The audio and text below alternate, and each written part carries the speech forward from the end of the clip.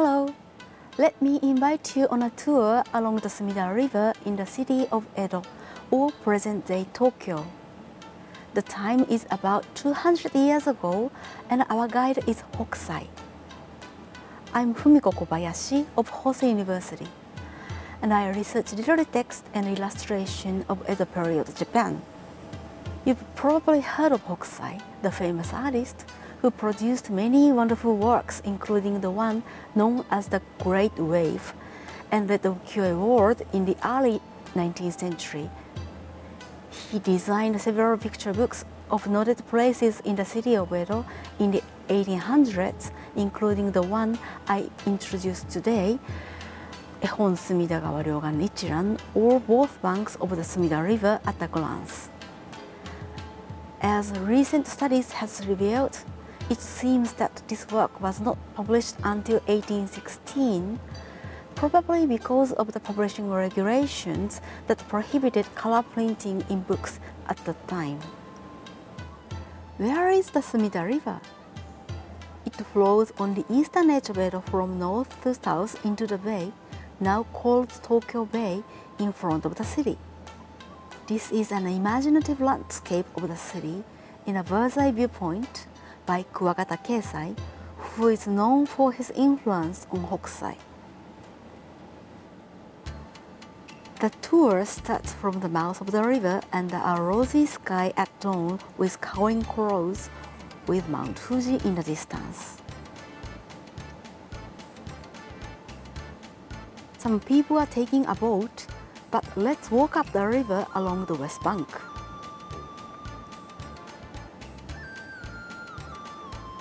Children are enjoying flying kites, which was a typical New Year's game. We can see the island of Tsukudajima, which was a landmark at the mouth of the river. Here is the area around Shin-Ohashi, the second bridge from the mouth of the river. Cherry blossoms are in full bloom in the foreground, which suggests the turn of the season to spring.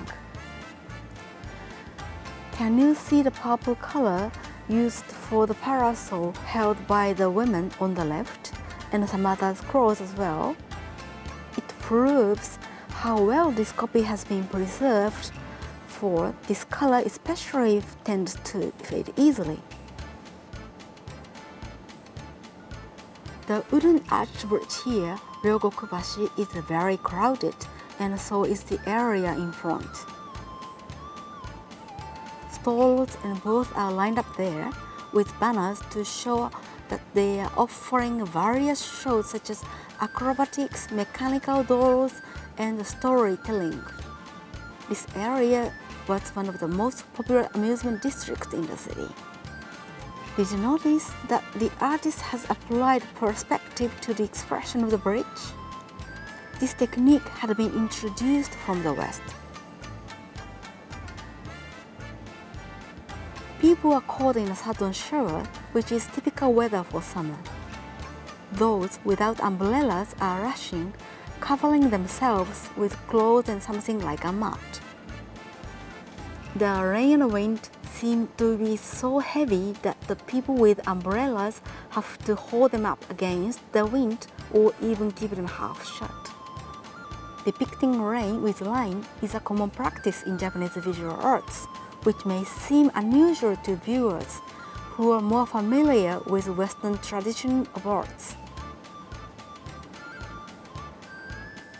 Fishing was a popular form of amusement in rivers and canals in the city. Here, it's not just a boy and a man covering his face with a straw hat who are fishing, but also two young women are enjoying fishing on this boat under a big pine tree named Shubinomatsu, which was known as a landmark near Asakusa. Further upstream of Asakusa was a tranquil area scattered with temples and shrines on both sides of the river, including the one here on a small hill named Matsuchiyama. The season has turned to fall now, with the maple leaves changing color. Finally, it has become winter and there is another shrine here, Masaki Inari, known for its gate facing the river. The contrast of the red and white is strikingly beautiful. I hope you've enjoyed the short trip with me along the west bank of the Sumida River with manifold landscapes depicted in bright colors by Hokusai. Thank you for watching.